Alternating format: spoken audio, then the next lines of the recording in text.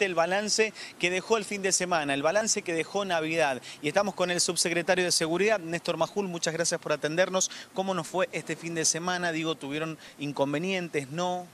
Bueno, buenos días.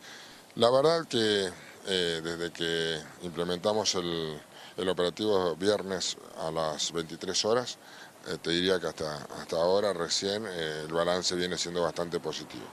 Si bien, si bien lamentablemente tenemos que seguir eh, secuestrando vehículos, 52 fueron en esta oportunidad por alcoholemia positiva. Eh, por supuesto que a nosotros nos gustaría que fueran muchísimos menos porque son 52 personas que conducían con valor en sangre superior al permitido de alcohol, pero la verdad que ha sido bastante positivo en lo que tiene que ver con accidentes gravísimos eh, que, que, ocasionen algún tipo de, de muerte, de, ¿cómo se dice?, de, siniestro vial que ocasionen muerte. Eh, la verdad que en eso hemos estado bien. Si querés con la fiesta clandestina, eh, pudimos llegar a cuatro fiestas clandestinas, suspender cuatro fiestas clandestinas de entre 150 y 300 personas, dos en Guaymallén, dos en Luján, por aviso de la policía, y a dos que llegamos previo que se iniciaran. Eh, lo cual también ese, ese, saldo fue bastante positivo. Vimos que los chicos salieron a divertirse, pero en, en, lo que tiene, en lo que tuvo que ver con las fiestas totalmente permitidas. teniendo en cuenta las alcoholemias, muchas alcoholemias pasaron eh, el 0,5 gramos, pero digo, algunas, eh, ¿el gramo también? Sí, por supuesto te diría que casi es la mitad, es casi 50 y 50 de aquellas que son viales, que son hasta 0,5, y las que son contravencional, que cuando supera el 1 eh, en valor en sangre. Pero, pero también en ese aspecto vemos eh, con satisfacción incipiente baja, pero una baja en, los positivos, digamos.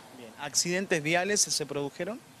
Sí, sí, tuvimos accidentes siniestros viales con algún gran no, todas graves, eh, pero algunas con alguna gravedad, otras totalmente leves, pero sí, sí, tuvimos, tuvimos, tuvimos alrededor de 14, 15 accidentes.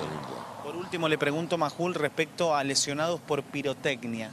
En toda la provincia lo que tenemos los registros, existieron cuatro, cuatro personas, de las cuales tres eran menores, lo cual seguimos teniendo la responsabilidad con los padres. Primero que no está permitido no está permitido el uso, así que, eh, pero nada más que cuatro, eso habla también de una, de una cultura de cada vez menos usar pirotecnia. Una cultura que está cambiando. Totalmente, porque bueno, ningún municipio ha habilitado comercios para, para este tipo de actividad, así es que cada vez son menos las personas que la usan.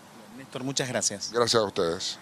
Bueno, hasta allí la palabra de Néstor Majul, ¿sí? es el subsecretario de Seguridad de la provincia, en diálogo con Canal 7, con Ola Mendoza, Agustina, entonces, respecto al balance que dejó este fin de semana teniendo en cuenta los festejos de Navidad.